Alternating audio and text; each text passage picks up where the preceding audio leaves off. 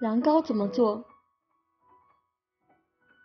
一、把凉糕粉倒入盆中，使用温火调成浆糊状，静置二十五分钟左右。二、锅中倒入适量的清水，并烧开，倒入凉糕浆中，不断搅拌均匀。三、把凉糕倒回锅中，使用大火烧沸，搅拌三至五分钟，熟透后离火，倒入生盘中，冷却至凝固。四、使用刀具从中间划开，将其中一半倒扣入盘中，淋上红糖浆，撒上果粒，搅拌均匀即可食用。